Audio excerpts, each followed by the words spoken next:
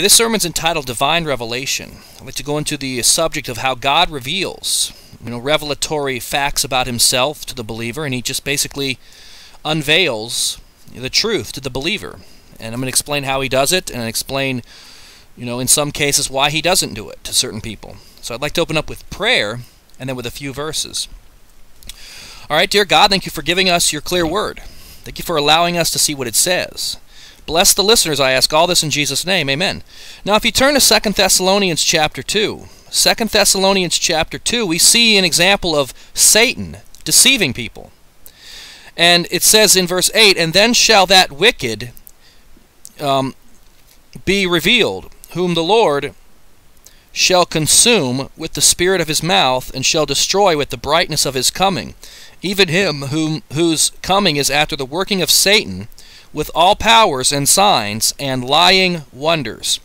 So just as just as God is powerful, and God is all powerful by the way, he's the king of kings, he's the great I am, he is the creator of the whole world and the universe and creator of everything. He he is you know powerful in the sense that he can give us a divine revelation, but Satan himself although he's not as powerful as God by any means, Satan himself has, you know, signs and what's called lying wonders.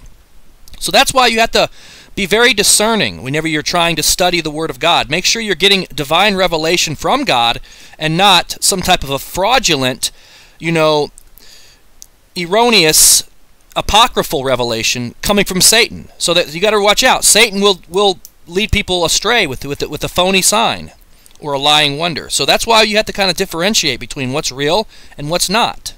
Okay, let's keep reading. And with all deceive all deceivableness of unrighteousness in them that perish, because they received not the love of, of the truth, that they might be saved. Now, the key to getting revelation from God is you have to you have to receive the truth. Jesus Christ is, is claiming to be the truth. You know, Jesus Christ said in John 17, verse 17, it's one of my favorite verses, it says, Sanctify them in the, with thy truth, thy word is truth. Okay? Let me, let me just jump back there to confirm that. I want to make sure I'm misquoting that. Sanctify them through thy truth. Thy word is truth. Okay? Pretty much the same principle. Is basically you have to be sanctified. That means you're separated from the world and you're, you're getting into the, you know, the spiritual realm and then you have to get into the realm of truth. And that's how you understand you know how to get that's how you understand what truth is as you get into the word and the word tells you the bible talks about the truth will set you free the truth will make you free so we need to understand that you have to get into the truth. You have to receive the truth. And God cannot give you his revelation if you don't receive the truth. Some people don't want the truth, is what I'm saying. Okay, now jump over to verse 15. Excuse me, we're going to look at 15, but jump back to verse 13. Okay? But we are bound to give thanks always to God for you, brethren beloved of the Lord, because God hath from the beginning chosen you to salvation through sanctification of the Spirit and belief of the truth. So that's the people that get saved are the ones that believe the truth. They believe the gospel. They believe on Christ. And then God wants us to, to understand His word. He wants us to have divine revelation. Let's look at verse 14. Whereunto He called you by our gospel to the obtaining of the glory of our Lord Jesus Christ. Now, what this is telling us is that we're called unto the gospel, and we're, we're guaranteed to obtain the glory. The gospel is unto obtaining the glory of our Lord Jesus Christ. Now that's eternal security. That lets you know that nothing can mess this up. Nothing can come between this. Okay? At the moment you get saved by faith alone in Christ alone, at that moment for at that, at that moment on, you're saved forever. You're guaranteed to obtain the glory. So that's a you know th this doctrine of eternal security is something that God has to reveal to people. That's why a lot of people do not understand it. It has not been revealed to them. Now, how does God reveal his truth to people? Well, we're going to look at that. But let's jump down to verse 15. It says, Therefore, brethren, stand fast, that means firm, and hold the traditions which ye have been taught, whether by word or our epistle. He's saying you have to hold on to what you've been taught in order to get more knowledge. If you go into if you deviate and go into some other area or that's a falsehood or some theological, you know, teaching that's not biblical, then you're not going to get any more revelation from God. You have to hold fast or hold, hold firm the traditions that you have been taught. Not traditions of men, but traditions, you know, of our word and our epistle. So that's the key is to got to you got to continue to believe the truth of what's being taught. So God reveals the truth to people that come who want who want the truth. They come like a little child. And let's take a look at this. Jump back to Matthew chapter Matthew chapter 12, look at verse 25. It says, At that time Jesus answered and said, I thank thee, O Father, Lord of heaven and earth, because thou hast hid these things from the wise and prudent, and hast revealed them unto babes. Now, when it says God has hid these things, it's talking about God has hid his revelation from people that think they're smart, from people that think they know it all. That's why when you fall into one of these these systems of theology that that, that, that, that takes the word of God and twists it out of context, you'll never get anything right because God's not going to reveal anything to you if you think you know it all. You have to come like a babe and then come like a child and God will reveal his truth to you. And he'll keep revealing it. Okay, so now let's turn over to 2 Corinthians chapter 3. 2 Corinthians chapter number 3. We're going to look at uh, some examples of how God reveals the truth to people, and then we're going to look at some examples of how people go completely amiss when it comes to the truth. They get on the wrong path, and they just they just get everything wrong. We're going to look at both, and that would be the pathway of confusion. See, there's there's two types of people out there that are those that are getting an actual divine revelation from God, and those that are in in confusion. It's, it's it's one or the other. There's no there's no gray area here. Now turn to, like I said, 2 Corinthians chapter 3. Let's take a look at verse 18.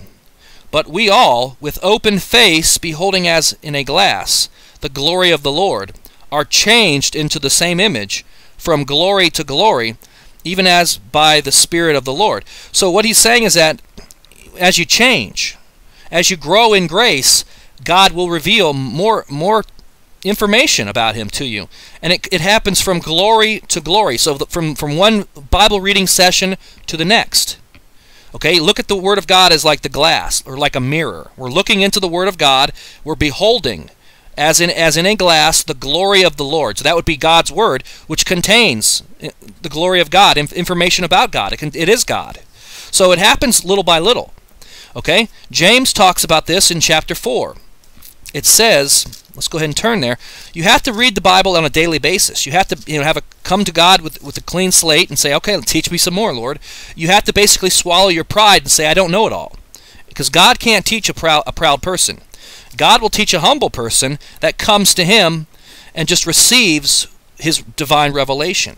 So James 4 talks about this in verse no, number 6 we see, "But he giveth more grace." Wherefore he saith, God resisteth the proud, but giveth grace unto the humble. Submit yourselves therefore to God, resist the devil, and he will flee from you. Now, why is this so important in receiving divine revelation from God? Because the devil is a counterfeiter. The devil is a liar. The Bible calls the devil the father of lies. And the devil's going to tell you something different, something contrary. So it's very important that you resist the devil so that so that God will you know get the devil out of the way so that his mendacities and lies and his falsehoods, you know, and his inconsistencies and all the things that he says are not going to be there to, to you know to cause you to cause you to stumble. So it says, resist the devil and he will flee from you. Now, you know, if you're going to look at this sequentially, if first you resist the devil, then part two would be you draw nigh to God. Now, how do you draw nigh to God? You draw nigh to God through reading the Bible. Let's read. Draw nigh to God, and He will draw nigh to you. It's like you take one step toward God, He takes one step toward you, and then He gives you more revelation. This is the way it is with the unsaved, it's the way it is with the saved. You could like to look at the life of Cornelius. You know, he, he was praising God before he was saved. And then, of course, God sent you know, a, messenger, a messenger to him so let's just go ahead and turn to the account. I, want, I don't want to mess this account up. Cornelius is a perfect example of God giving divine revelation, and he does it piecemeal. He does it little by little. So turn back to Acts chapter 10. Okay? And Cornelius said four days ago, in verse 30, I was fasting until this hour, and at the ninth hour I prayed in my house, and, be, and behold, a man stood before me in bright clothing, and said, Cornelius, thy prayer is heard, and thine alms are had in remembrance in the sight of God. Send therefore to Joppa and, and, call hither Simon, okay, of course Simon Peter's who God sent, Simon, whose surname is Peter. He is lodged in the house of one, Simon, a tanner by the seaside, who when he cometh shall speak unto thee. So God can use people to give divine revelation. preachers, teachers, people that are evangelists. He can use them to, to, to, help people learn more about God. And now let's keep reading here. Let's take a look at verse um, 33. Immediately, therefore, I sent to thee that thou hast well done that thou art come. Now therefore are we all here present before God to hear all things that are commanded thee of God. So God commands people to preach. Because people need to understand the gospel. They need to understand the death, burial, and resurrection of Jesus Christ as our only payment for sin and our only way into heaven. So that's why God commands people to go out and preach. Let's keep reading. Then Peter opened his mouth and said, Of a truth, I perceive that God is no respecter of persons, but in every nation he that feareth him and worketh righteousness is accepted with him. The word which God sent unto the children of Israel, preaching peace by Jesus Christ, he is Lord of all. That word I say ye know, which was published throughout all Judea, and began from Galilee after the baptism which John preached, how God anointed Jesus of Nazareth with the Holy Ghost and with power, who went about, you know, doing good and healing all that were oppressed of the devil, for God was with him. So now, if you just keep reading, you're going to see the account of when Cornelius gets saved, and of course, you, you see the famous verse, to, verse 43, to give all the prophets witness that through his name whosoever believeth in him shall receive remission of sins. While Peter yet spake these words, the Holy Ghost fell on all of them which heard the word. So that's how God gets his, his revelation to people. The Holy Ghost, of course, is the one who can, can basically decipher all this. We don't do it ourselves. The Holy Ghost is what's doing it. And that's why, as believers in Christ, we understand God's Word. And we, we come to correct revelation. We don't come to something phony. Now, the devil's out there telling people all sorts of um, lies. And that's why people that are not saved never come to the right conclusion about salvation, about God, about God's love, about Jesus Christ dying for the sins of the whole world, about it, Him dying for every person. They never come to the right conclusion about, the, about God's grace. It's because they're getting they're given they're, they've been given the wrong revelation. They've been given lies. Satan is a liar, and, and that's what you got to watch out for for stuff like that. And I'm going to prove to you right now. Here, why are why are people getting so confused? Number one is because they won't believe the Bible. They believe something else, and then from that point on, God confu- God confounds them, or He lets Satan confound them. So turn turn to Psalm 41.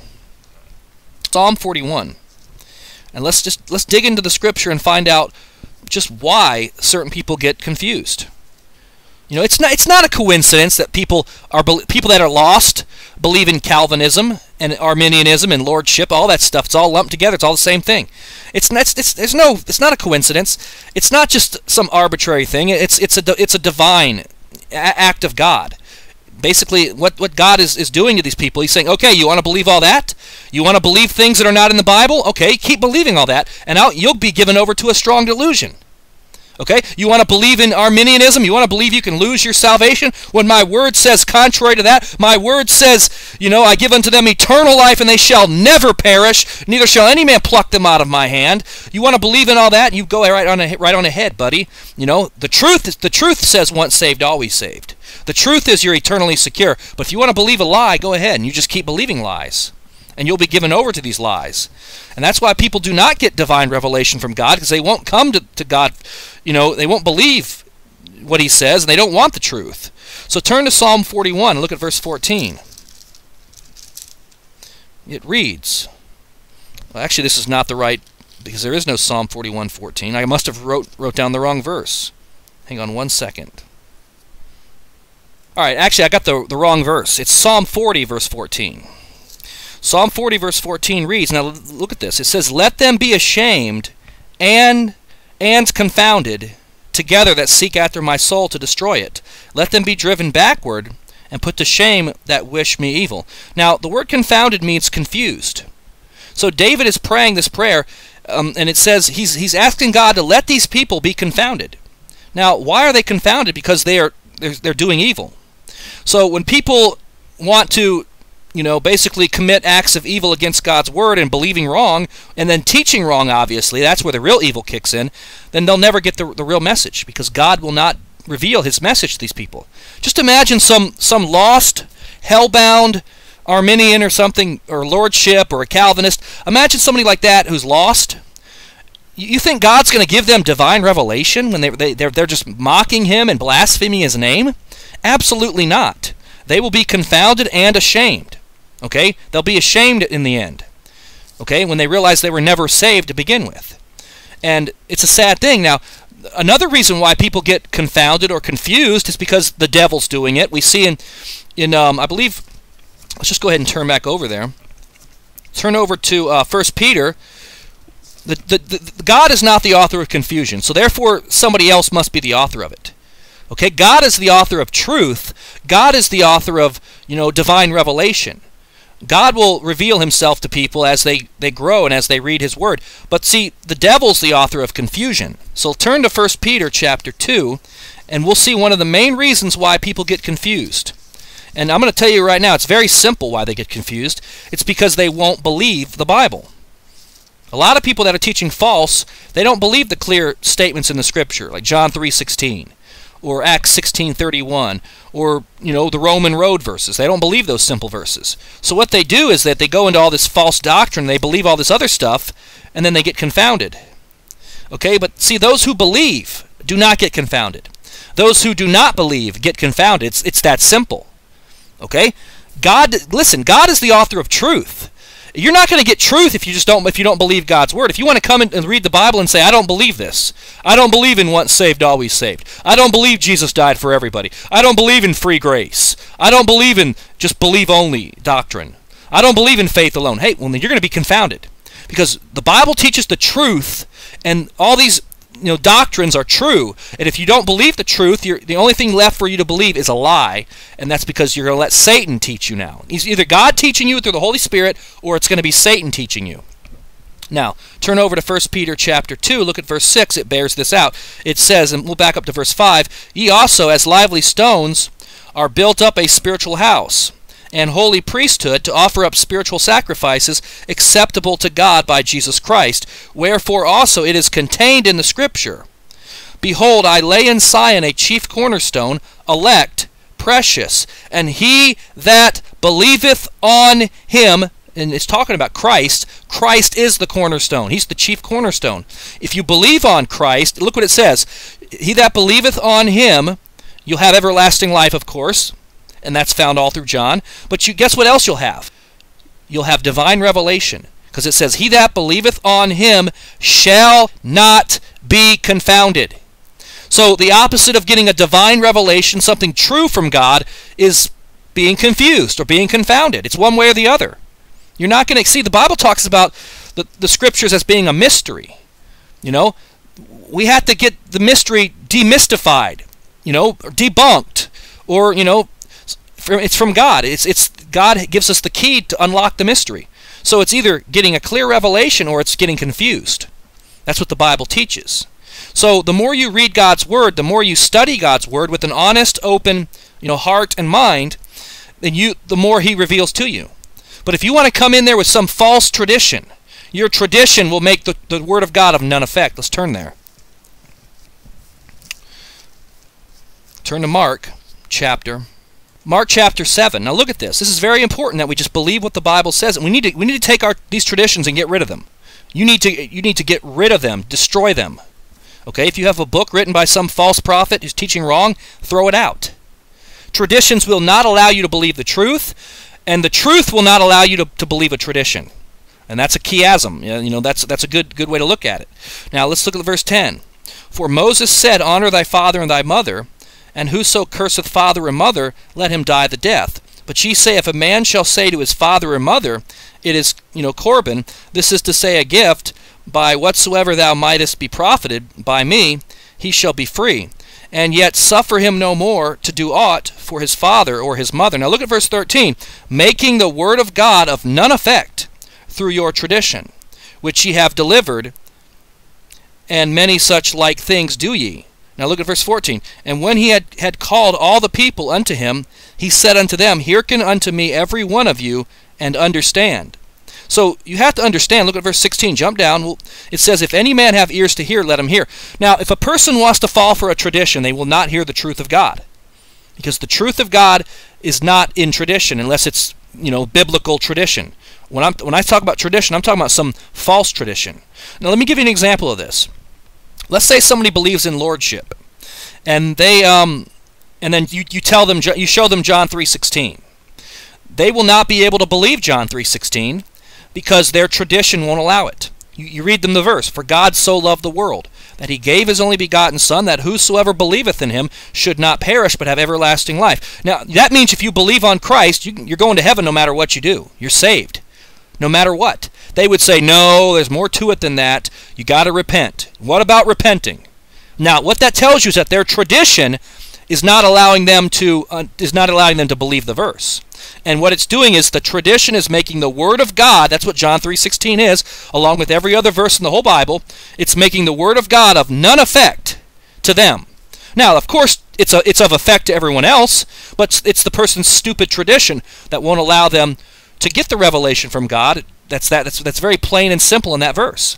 That the one who believes on Christ has everlasting life that can never be lost. That's what that verse is teaching. So tradition will keep you from divine revelation. And that's what the Bible teaches. Now, let's take a look at another another verse that talks about this. It's found in Colossians. It's very important we, we, we stick we stick with our doctrine and we, and we and we, we don't deviate from it. If you deviate from it, you will not get any more revelation from God. He'll, he'll I mean you'll just he'll just let he'll let the devil take over and he'll be your new your new tutor or your, your, your, your teacher or whatever. And that's a sad thing when that happens. So it's very important that we do not let tradition keep us from truth. It says in in Colossians chapter 2, it says, Beware lest any man spoil you through philosophy and vain deceit after the tradition of men, after the rudiments of the world, and not after Christ. We learn two things from this. The traditions of men will spoil you. They'll spoil your thinking. They'll spoil spoil your way of understanding doctrine in the Bible. And what else? You know what else they do? They keep you away from Christ. Okay? If you're not saved, if you're saved, you have Christ. He that hath the Son hath life. But if you're not saved and you listen to tradition, you'll stay lost. Because it says the rudiments of the world, it's comparing it to being, you know, with Christ. It says after the tradition of men, after the rudiments of the world and not after Christ. So you're either going after one or the other. You're going after Christ and his teachings and the Bible's teachings and Bible doctrine, or you're going after the, the traditions of men, which are of the world, and they're not. They don't mix. So you can't go after you know the, the traditions of the world and expect to get any divine revelation from God. It's impossible. Because God only comes to those that want the truth and have a love for the truth, as we read in Second Thessalonians. Okay, now turn to John chapter 7. Another key to getting um, truth from God is to do the will of God. Okay, now in this case, the will of God could be anything, because the people he's addressing here are pretty much already saved. Well, even if they're not, we could say hypothetically that they're already saved. So in John chapter 7, it, first of all, if you're not saved, the will of God is to believe on Christ. That's what the Bible teaches in John chapter 6. So now let's look at John, John chapter 7, and it says in verse 17, it says, If any man will to do his will. Now we're talking about God's will. Okay? If you're willing to do God's will, it says, He shall know of the doctrine. Now look at this. It says, whether it be of God or whether it be whether I speak of myself. Why is it that God gives you knowledge of his doctrine? Because if you're going to carry out his will, you need to know his doctrine. think about it. If you're going to be a soul winner, you're going to do the will of, of God. And that's what the Bible says, to, to be a soul winner in certain in certain portions of Scripture. Now, if you're going to be a soul winner, you have to know his doctrine or God can't use you. That's why if you do the will of God, if you will to do his will, he shall know of the doctrine. Now, the reason why he's, he knows of the doctrine is because God himself has divinely revealed it to the person who's going to do the will of God. He has to. Because you're not going to be able to carry out God's will you know, correctly if you don't know the doctrine. Imagine if you don't believe in eternal security. How are you going to be a soul winner? You can't. You know? How can you be a soul winner if you believe, you know, lordship? You can't be a soul winner because that's there's not a saving message there. So if you're going to will to do the, the will of God, God will reveal the doctrine to you. That's what it teaches. Now I'll turn over to Philippians chapter 3. One more verse on divine revelation, and then I'll close.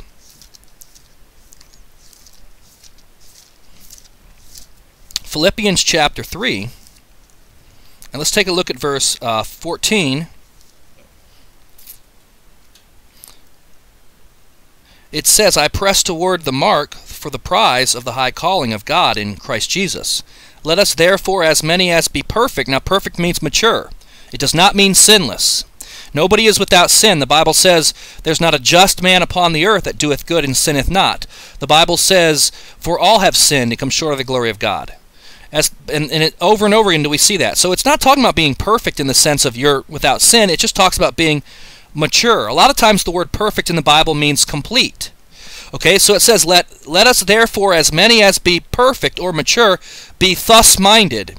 And if anything, and in anything, ye be otherwise minded, God shall reveal even this unto you. So he's saying, if you're thus minded, if you you know, we need to believe the way you know, the Bible teaches. All believers should believe the same way when it comes to you know the Bible doctrine. So he's saying, if you, if you will be this way, God God shall reveal this unto you. He'll reveal you know all these things unto unto the believer.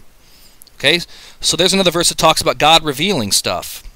There's actually one more verse I want to look at. Let me see if I can find it. Okay, now there's a couple more verses I want to look at here. Turn to James chapter number 1, and let's take a look at a, a few verses here in terms of like divine revelation or divine illumination. It says in verse 23 For if any be a hearer of the word and not a doer, he is like unto a man beholding his natural face in a glass. And it's the same principle as a mirror. For he beholdeth himself and goeth his way, and straightway forgetteth what manner of man he was. But whoso looketh into the perfect law of liberty, that would be the Bible, and continueth therein, he being not a forgetful hearer, but a doer of the work, this man shall be blessed in his deed. So it's very important that we not just read the Bible, but do what it says. Then God will bless us with more illumination because it, it talks about looking into the perfect law of liberty, trying to get something to be revealed to us. Now, let's go back to the Old Testament. I'll close with one verse. Another verse that talks about divine illumination is in Psalm 119. And let's take a look at verse verse 18. Now, take a look at this.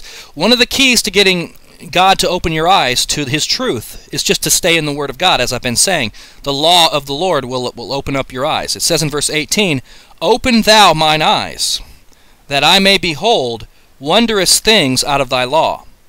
So that's the key, is to continue reading God's Word and continue, you know, to let God reveal His truth to you.